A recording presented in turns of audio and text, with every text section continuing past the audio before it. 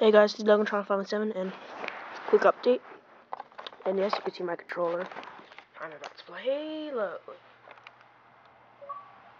Yeah. So, here's my update. This is my newest creation. You think he's a normal clone, right? Well, he's not.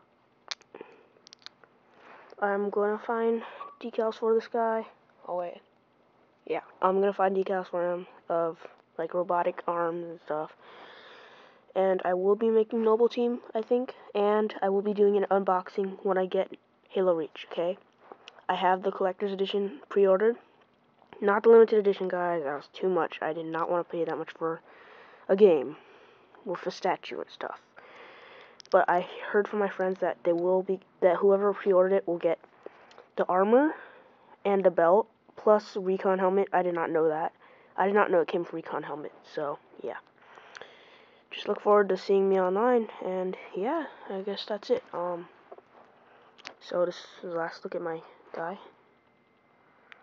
And the reason I have his helmet, his head on, is because I'm gonna make Kat first, I think, because she looks easiest, and she's all blue and stuff, blue and everything, and yeah. But I do not know what kind of body he used on it, so this is so far what I have. It's, I mean, no, I haven't even started on it. It's just I haven't taken off the arm. I'll do that right now, because I guess, yeah, if it'll come off. Oh, there. That was easy. Wow, this looks unexpectedly small right there. But whatever. So yeah, this will be Kat's arm. I might file it down a little bit so it's skinnier, like how her real arm is.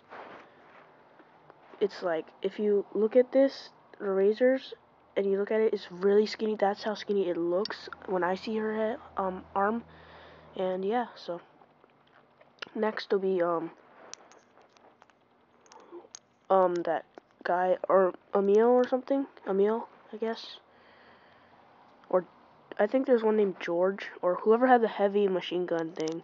And yeah, so that's been my update for the Legotron 507. Um, yeah, I guess that's it. Bye.